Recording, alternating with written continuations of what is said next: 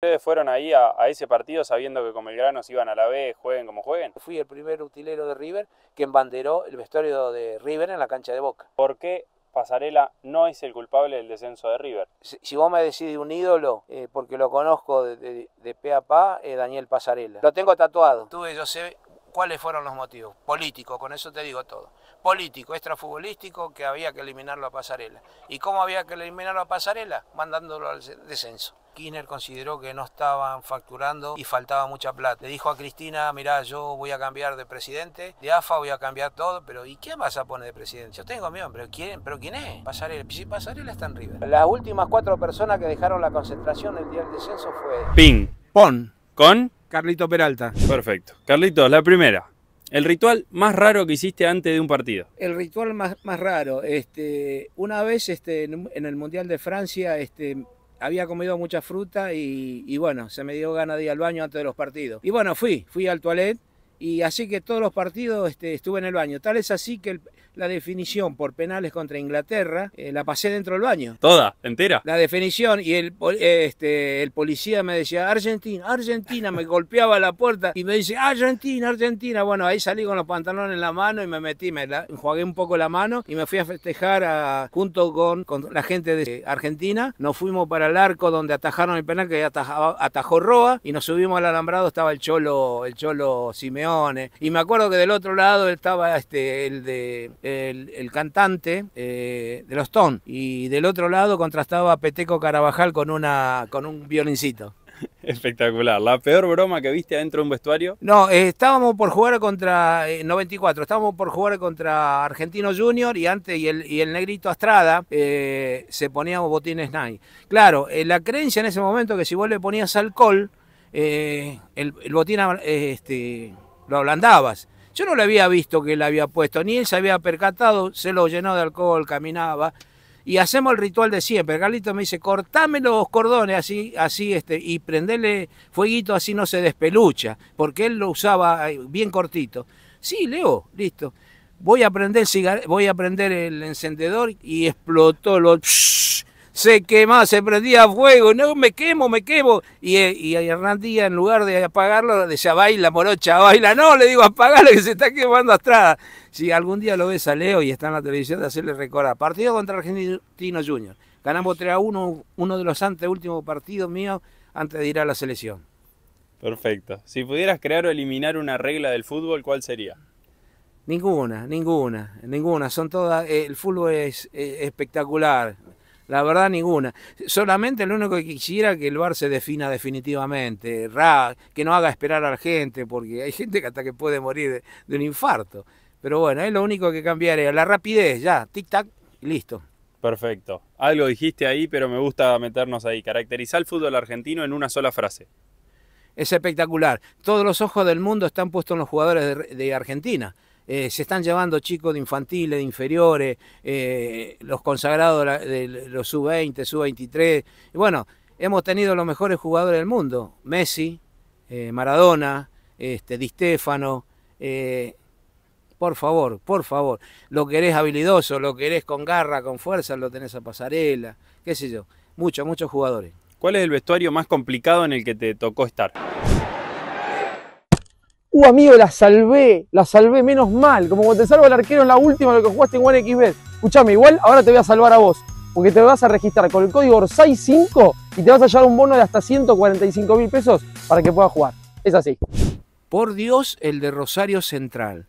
Tenés que caminar 50 metros, subir una escalinata de 18 escalones, caminar 50 metros, subir con los baúles un, este, un piso y medio y ahí arriba está el vestuario. Ese lo hicieron para el Mundial del 78. Se dice que se equivocaron en los planos, que ese estadio tenía que estar en Mar del Plata y el de Mar del Plata en Mendoza. Bueno, el asunto que lo sufrimos nosotros, todo sutilero. ¿Cómo era estar en el Mundial 86 con esa cantidad de bestias? ¿Cómo era tratar el día a día con Maradona, con Bilardo? No, yo, yo lo conocí a Carlos, lo tuve en Mendoza con el equipo de Daniel Vila, tuve a Diego, eh, pero eh, yo en el que estuve en el eh, 98, en ah. el de Roa, en el de Ayala, en el de eh, sí, Zanetti, en el de este, Can, Canigia, no, este, el Burrito Ortega, la Bruja Verón, el Piojo López, eh, la Bruja Berti, son todas brujas ahí. Buena gente ahí. Espectacular, espectacular. Recuerdo que ese día que íbamos a jugar contra Inglaterra, Gallardo y, Batistuta me dice, tenían dudas. Le digo, mirá, tenés que salir con tan botines, tan, tan tapones, tan... Y bueno, gracias a Dios me hicieron caso y Bati hizo un gol de penal. Después vino eh, el segundo gol que fue este, la expulsión de, de Beckham. Eh, así que bueno, lindo recuerdo, lindo recuerdo. Perfecto. ¿El mejor jugador que tiene el país hoy? Y sin duda Messi, sin duda. Pero si vos, me, si vos, me, decís un ídolo, eh, porque lo conozco de, de, pe a pa, es Daniel Pasarela.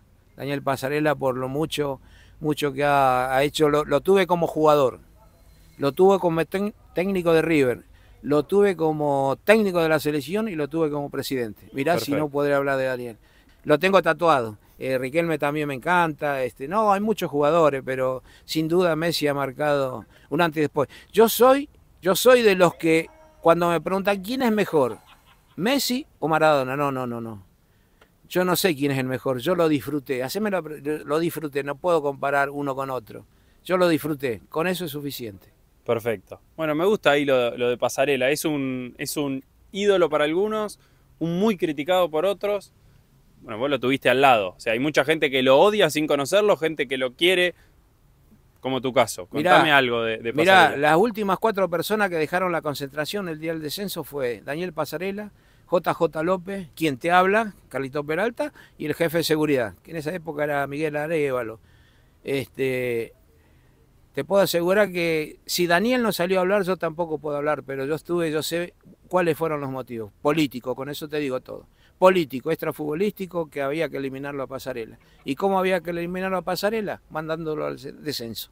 No te puedo decir más porque si Daniel no sale a hablar, no tengo yo por qué hablar. Respeto, la palabra de Daniel. Pero hay mucha gente que está equivocada en ese sentido.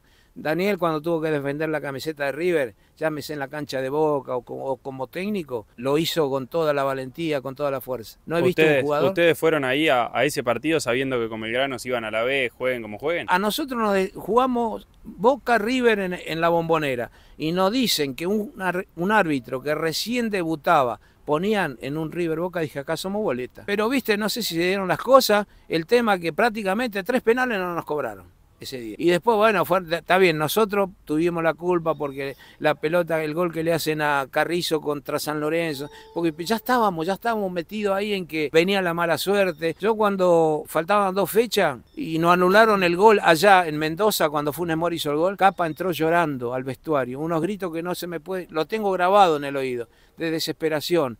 Eh, porque no había sido mano de Funes Mori. Yo con ese gol ya no hubiésemos salvado. Yo dije, no, ya estamos condenados. Y el último partido que juega Olimpo con Quilme, lo que atajó el arquero de Quilme, 400 goles, dije, no, ya está. Y nosotros perdemos con Lanús, nos condenan ahí a, a definición con Belgrano.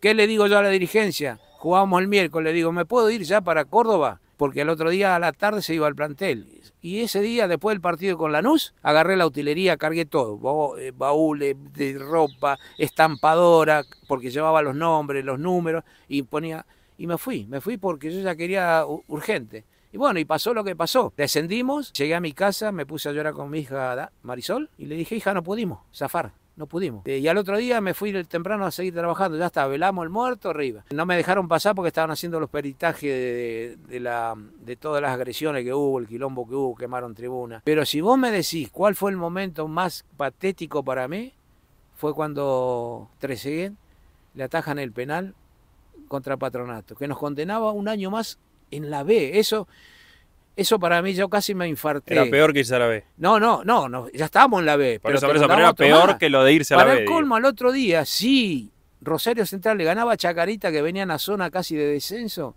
¿Quién iba a creer? Cas, entonces lo llamo al, Tuerca porque el Tuerca es, utilero de Chacarita. Le digo, Tuerca, mira, te doy cuatro mil pesos, pero hablar, reventarle la. No, quédate tranquilo, mañana ganamos. Que vos decís, ganamos mañana. Eh, y me dice el Tuerca, ¿creen mí? Bueno, Tuerca, yo te doy cuatro mil pesos. Bueno, bueno, listo. Bueno, ¿qué pasa el otro día? Llegamos a River, empezaba el partido a las 11 de la mañana y prendí las duchas, no quería escuchar nada, nada, porque se escuchaba a veces en la, en la confitería, grito, y eran la una ya, la hora que terminaba el partido. Bueno, digo, porque ese, ese- ese- el no escuchar nada te mantenía la esperanza. Cuando salgo, estaba lloviendo y veo un viejito, siempre dependiendo de otro en la confitería, en el pasillo. Se había suspendido la sesión de tenis porque llovía. Llego al fichero, le digo, no me digas el resultado. Salgo del fichero para Alcorta, llovía y yo, se me caían las lágrimas. Y yo ponía la cara así para que se confundan las lágrimas con, con la lluvia. Llego al Alcorta y le digo, por favor, no me digan el resultado, por favor, listo. No, Voy a subir al remé y suena el teléfono. Mi hijo, mi hijo viejo, feliz día al. No, hijo, qué feliz día al padre. Mirá vos lo que nos pasa. No sé cómo. No, pero quédate tranquilo. Pero lo único que te pido no me digas el resultado o cómo va el partido. Sí, no, faltan cinco minutos, diez. Bueno, bueno, listo. Me siento en el coche, suena de vuelta el teléfono, José. Bueno, viejo, te dije feliz día al padre. Sí, me dijiste, José. Bueno, va ganando Chacarita y me cortó. El corazón parecía que me explotaba.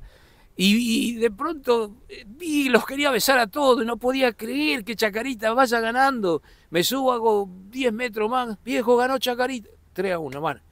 Llegué a mi casa, abracé a mi hija y fue el mejor día del, lo que fuera el peor, pasó a ser en breve, en una hora, el mejor día del padre. Bueno, preparamos todos los, todos los festejos, ya, yo digo, bueno, si preparan las cámaras, ya acá ya algo ya está preparado. ya. Bueno, este, va a empezar el partido, suena a la puerta del vestuario. ¿Y quién es? ¿Te llaman? No, pero ya va a empezar el partido. No, te llaman porque se tiene una carita media. El tuerca me había venido a cobrar las cuatro lucas. Olvídate. Y con gusto Olvidate. fui al cajero, le saqué en esa época, permitían nada más que el máximo dos mil pesos, mirá, que, que te estoy hablando de 2011, 12. Claro. Y no, bueno, un montón de. y le, y, le, y le- y le pagué la, la, la- la apuesta, no la apuesta, lo que yo le había dicho. Y cuando voy a cobrar el sueldo, me- ahí tengo un plus de eh, 5 mil pesos. Bueno, ahí se pagó solo. No, el jefe de prensa de River le, le había comentado a Daniel. Y Daniel me lo repuso. Yo no se lo pedí, ¿eh? Espectacular. ¿Cuánto, es, espectacular. ¿Cuánto de ese ascenso de River se le debe a Chacarita? Porque los Eh, hinchas de Chaca se lo colgan como una medalla. Eh, sí, sí, sí, sí, sí. Sí, eh, hay que darle prácticamente 100% porque ¿quién iba a decir que Chacarita gane en Arroyito con toda la gente? Más con la presión de que, de que tenían los jugadores también la- las ganas de, Chaca- de Rosario para que si ganaba Central prácticamente ascendía. Porque después Claro. el otro día jugaban contra eh, Desamparado, creo, en San Juan, pero este... eh, un, en un se partido más, más sencillo. Así que bueno, lo más grande lo viviste y, y el momento más triste. Alfa y Eh, Omega. Nosotros como, como periodistas muchas veces pensamos y nos metemos en esos vestuarios de o la alegría más grande o el, o el, o el descenso. El descenso para el hincha de fútbol, para el, para el jugador, me imagino que es lo peor que hay y vos lo debés vivir desde ahí adentro. Al- Algo más quiero que me cuentes de ahí adentro, de, No, de ese vestuario, de ese 2011. No, la- lo más trágico fue cuando este, empezamos a juntar la ropa después del partido con Patronato. Había gente desmayada, eh, gente con preinfarto, dirigentes, eh, jugadores que discutían entre ellos. Y vos estás ahí y no sabes para. vos- vos- a mí me parió River, ¿no? No es que soy hincha de River. Lo llevo a River, le sacan la sangre, pero ya te digo, hoy estoy en Central Córdoba, cuando juguemos con, con River, quiero que Le querés Central ganar. No, Obvio. le quiero ganar porque yo soy un profesional y esta gente se merece lo mejor. obvio. Pero ese momento no lo quisiera repetir nunca más. Eso, ¿Qué, eh, qué había ahí? ¿Hubo llanto? ¿Voló alguna piña? todo. ¿Hubo... Tal es así, tal es así que nosotros estamos cargando la utilería en, en la, en la- en la movilidad nuestra y eh, le dijeron al chofer del micro, no vuelvan, suspendido el regreso, de vuelta a la concentración de Colón, nos están esperando en la ruta para matarnos, los hinchas River. Mirá vos todas las cosas que vivís. Mirá vos todas las cosas. que- En cambio, vos vas a México, vas a Europa, y el descenso ya lo toman un poquito más, ¿viste? Pero acá en Argentina, vida o muerte. Y bueno, bienvenido sea que siempre esa agresión, que no agresión de pelear, sino esa, eh, ese, ¿cómo te puedo decir? De estar, de querer ganar que tiene el argentino, que se supera porque argentino tenés en todas partes del mundo, en la NASA tenés argentino, eh, los mejores periodistas son argentinos, de fútbol, el Papa argentino, eh, las reinas argentinas, amigo. Carrito, yo quiero que me desmitifique o que directamente me confirmes eh, si es verdad que para los futbolistas el utilero es como un padre o una madre, que lo quieren tanto, lo que más quieren dentro de lo que gira en torno al fútbol. ¿Es así? Recién terminó un amistoso. Eh, terminó un amistoso eh, contra Atlético Tucumán. En el segundo partido uno de los chicos que hizo el gol es Cancino. Siempre le hablo a Cancino, le digo, Cancino, vos tenés condiciones. Vos, no, vos parecés garrincha argentino, tenés condiciones, hermano. Demostrarlo en la cancha. Demostrarlo. Hijo, yo quiero que vos triunfes en la vida. Vos sabés lo feo que levantarse a la mañana, no por la profesión, y ser un albañil y cobrar 200 pesos, vos tenés la posibilidad de dentro de 10, 5 años de tener pileta, mansiones, coche, eh, una mucama, eh, una familia. No desaproveché esta posibilidad que, que, Dios te dio de la habilidad que tenés. Vos parecés, me hace acordar Manega Rincha, porque los pies lo tiene así como Manega Rincha. Y es espectacular. Y bueno, yo hice un gol y bueno, sí, claro que sí. Uno le tiene que dar consejo. A veces me encuentro con, con Diego Martín Coca, Pablito Lavallén, y se acuerda cuando yo los tenía en la novena y en la pre-novena. Y me decía, Carlito, vos siempre nos trataste con respeto, nos, trataba de usted.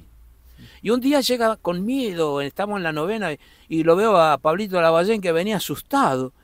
Le digo, Pablito, ¿qué pasa que estás con miedo? No, anoche no pude dormir. Digo, ¿por qué no pudiste dormir? Porque vi el exorcista. y siempre se acuerda, si alguna vez lo cruzaba Pablito Lavallén, decirle. Así que bueno, sí, sí, cómo no, uno tiene que actuar como, como padre, como consejero no metiéndose, sino cuando ellos, porque Cancino vino a preguntarme, vino a hablar, no, no es que yo fui a buscarlo. Y hay muchas cosas que en el vestuario hay que saber manejar. Por ejemplo, el utilero, yo tengo el ayudante que le digo, no, vos no vayas al vestuario, porque el vestuario es de ellos, es la privacidad. Vos estate en la utilería. Si ellos quieren venir a la utilería, fenómeno. Pero vos respetar, no vayas a... Porque de pronto a uno, dos, tres le, te le vas a gustar y otro va a decir, no, el vestuario es nuestro. Y tienen razón. Por eso a veces yo, con los años que tengo, para entrar al vestuario a juntar los botines, pido permiso. Y una vez que me dan el ok, entro. Otro se metería, pero no, no, no hay cosas. Y le digo, no, nunca tenés que compartir. Eh, vos podés ser amigo, hermano de los jugadores, pero hasta ahí nomás, el respeto. No comparta salida ni comida, porque a veces el jugador, viste, fachero, tiene plata, coche, y viste, eh, por ahí se descarrila y vos estás ahí y te hace participar o vos sos presente y no, no al contrario, eh, vos tenés que darle buenos consejos y mantenerte al margen de las reuniones. Al menos eso es lo que así me manejé yo toda la vida. ¿Qué es lo mejor de ser utilero? Eh, estar en un lugar que a uno le gusta, le plazca. Eh, yo soy fanático de River, fanático. Iba a River a los 18 años, lo seguía, lo seguía. Creo que fui cuando salió campeón que hizo el gol Bruno, en el 75 fui uno de los primeros que rompimos el alambrado que da frente, justo frente de la platea, de la cabina de transmisión, que ahora hay todo palco. Bueno, ahí rompimos el alambrado y, estar en un lugar eh, que a vos te gusta, que es el fútbol, y estar en River. En River no sabés lo que sí. Yo me iba a la mañana a, a estampar las camisetas. Cuatro de la mañana estaba estampando camisetas. Y después estar en la selección argentina, creo que es lo máximo que me pudo haber pasado haber estado en una selección argentina y estar en un mundial, estar en un mundial y ser campeón del mundo en Qatar, estar en, en unas olimpiadas y ser medalla de plata o participar, yo no, los jugadores. Eh, en Niger, eh, perdimos con Nigeria, pero en Estados Unidos me traje la medalla de plata. Son 26 vueltas olímpicas entre Independiente Redavia, la selección argentina y River. Y un descenso cuando digo todo eso. bueno, nos contaste lo peor, quiero que, de, de lo que fue el descenso en sí. Eh, lo mejor, si tenés que elegir una cosa, ¿cuál fue? No, no, el día que nos coronamos campeones, este, me apoyó en la baranda de la pista de atletismo, le habíamos ganado a Almirante Brown 2 a 0, cosa que nos permitía, no podía ni hablar, las gotas que me caían de, de los ojos eran mucho más grandes de las normales. Ese es el día que Blas Junta dijo que dejó el pasto largo a propósito. Bueno, ese fue el, parto, el partido de ida. Y ese ah, es, es, el de ida, donde el... empatamos uno a uno. Sí. Y esas cosas... Eh, yo creo que Pasarela no lo hubiese hecho siendo presidente, porque te visitaba River. Entonces vos a River mostrar, darle la, la comodidad que River se merece, usted el vestuario visitante. No, nos dieron un vestuario que era 4x4, eh, los baños no tenían este, puerta, eh, habían dos duchas que casi no andaban. Y entonces vos estás demostrando lo peor como ser humano, demostrar, darle el vestuario a River. Si vos sabés que River pasa un año está de vuelta y el pasto te tapaba los tobillos. Bueno, ese, bueno, en la, en la revancha cuando volvimos a la, a la primera categoría, ¿por qué? Porque yo estaba así en, en, la, en la baranda y me caían las gotas y las sentía que me golpeaban. Entonces dije, estas no son cualquier gota. Y dejé, lloré, lloré hasta que se me descargué con todo. Fue un desahogo. Un desahogo porque de un año completo. Vos recordás que nosotros recorrimos Jujuy, Tucumán, Mar del Plata, Puerto Madre, Mendoza, Córdoba junto con este con Darío, eh, Darío Rascón, que era el chofer. Y llevamos ahí, llevamos ropa, estampadora, comíamos, dormíamos en la camioneta. Fuimos a Puerto Madryn una vez que ganamos 4 a 1, que casi no se juega porque Maglio, que era el árbitro, eh, no llegó, no llegaba. Y faltando 35 minutos llegó Maglio. Che, qué lejos que queda todo. y para nosotros, así que recorrí el país con la camioneta. Eh, quiero que me digas, ahora por ahí no en cuanto a situaciones, sino lo, me dijiste lo mejor, eh, las relaciones, todo, lo peor de ser utilero, lo más engorroso, lo que voy a decir, che, uy, qué fiaca esto. No, no, cuando por ejemplo estás afuera y te toca perder. Te toca perder. Que tenés, por ejemplo, venís en micro, en avión y tenés que comerte la amargura y ves a los hinchas que cruzáis en el aeropuerto o en algún lado. Hay que ganar, hay que ganar. ¿Y vos te querés que salimos a la cancha a perder? Le digo, amigos, nos ganaron por circunstancias del juego. Y después dije, no, no, es al pedo, discutir. Y entonces guardé más prudencia y dije, bueno, está bien, está bien.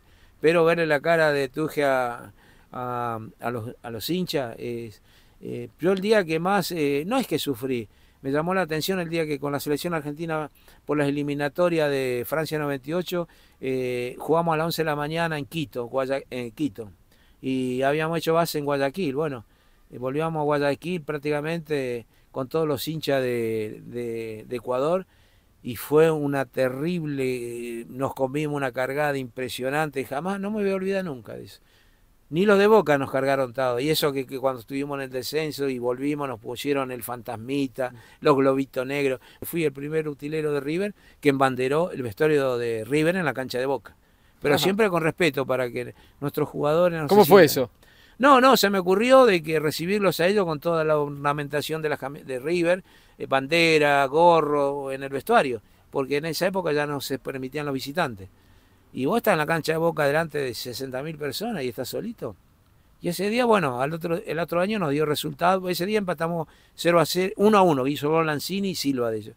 Y al otro año siguiente, bueno, le ganamos con gol de Ramiro, este, Funes. Ramiro Funes Mori sobre la hora que decía no fue penal. ¿Cómo llegaste a River y después por qué te fuiste? Me fui, llegué porque andaba sin trabajo y, yo como conocía a la gente de River, en el diario Clarín había salido, se necesita personal temporario para pileta. Dije, bueno, esta es la mía, fui, bueno.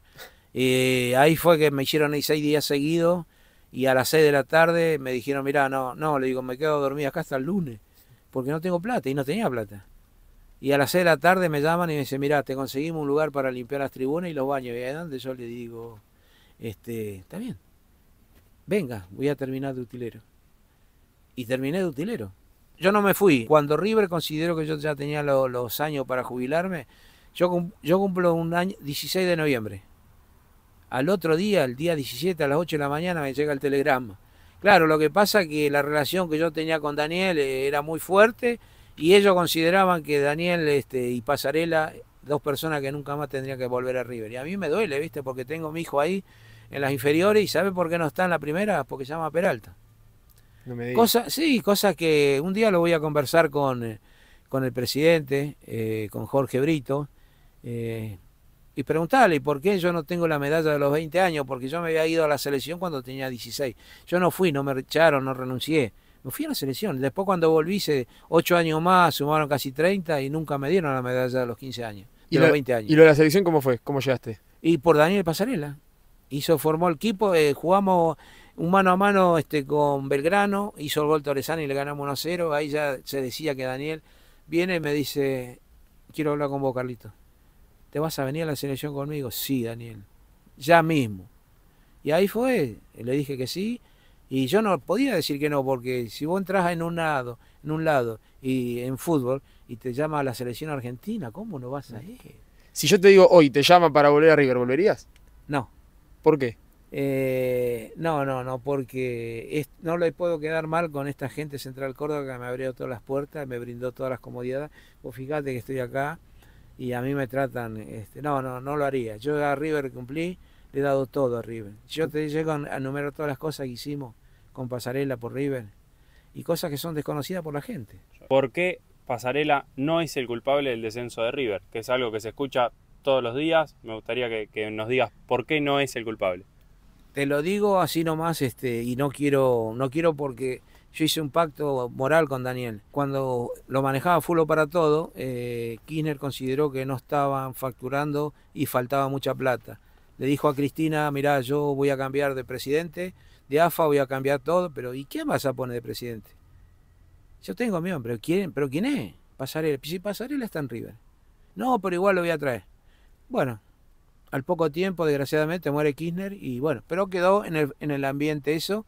Entonces, este, viste cuando vos pateás unos hormigueros, estaban todos, hay que, hay que hacerlo desaparecer a Daniel. Y bueno, y, eh, es muy grande, muy amplio después, pero yo quisiera que él algún día lo cuente. Digo, si no un día hablo, hablo con él y digo, Daniel, déjeme hablar y hablo. Te- eh, están las ganas de que por lo menos hable para que se esclarezca o se limpie su nombre, tal vez. Claro, porque eh, vos viste la película El Padrino. Sí. En una película, en la primera parte del Padrino, viene alguien a pedir protección al padrino y le dice así, Padrino, yo soy un hombre honesto, responsable, trabajador. Y el padrino le responde, ser honesto, trabajador y honrado en este país es peligroso. Nosotros arrancamos como medio con anécdotas. Y, por lo que te escucho, vos sos un hombre anécdota, creo que lo superás, no tenés nada que envidiar a Coppola, que se habla. En cuanto a anécdotas, quiero que me cuentes la mejor, la mejor que tengas, la mejor que se te venga a la cabeza. Hay muchas, hay muchas. Este, bueno, te, había contado, este, había contado la de Mar de Plata, había contado la pelea con Sandokan. El tema con Sandokan viene así. Nosotros fuimos a, Guayaquil a jugar contra Barcelona, entonces quedó un equipo mixto. Eh, el equipo mixto empata 1 a 1 con, este, con, con Racing y nosotros ya estábamos allá, Higuaín, este, Comiso, este, Mencho Medina Bello y bueno, y cuando llegó Daniel me dice, eh, Carlito, me, me agarré a trompada. Eh, Daniel, ¿qué pasó con Sandokan? ¿Ya? ¿Qué pasó? Y me contó que había subido Sandokan arriba a la concentración y decía, quiero plata y comida. Ah, vos querés plata y comida. Y Daniel usaba un encendedor Ronson, no sé de qué material de oro. Y lo agarró a trompada y lo bajó a trompada. No. Y le digo, Daniel, sí, ahí fue el primer enfrentamiento que tuvo con Sandokan. Lo saqué corriendo. Pero anteriormente, cuando nos- nosotros llegamos al aeropuerto de allá en este en, en Barcelona, eh, yo viajaba siempre con el mancho. Siempre. El profe Pizarotti nos daba el voucher para que viajemos los dos. Tal es así que ahí vimos la primera vez, la primera vez la película Mi pobre angelito. Cosa que hoy, si la puedo ver 10 veces, la veo. Y ahí nos reíamos como criatura con el mencho. Baj- baja- bajamos con el mencho, a- los dos hablando, y bueno, ahora tengo el pelo blanco, pero en su momento ya tenía más pelo y era muy parecido al mencho yo. Entonces el mencho ve la jugada, ve que lo están esperando los periodistas y se va para allá. Y yo seguí caminando, seguí caminando y vienen las cámaras y me enfocan.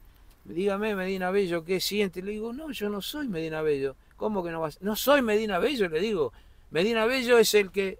Y me había dejado solo. No, lo que me castigaron, lo que me pegaron los periodistas. Le digo, Mencho, me dejaste solo y bueno, ¿qué querés?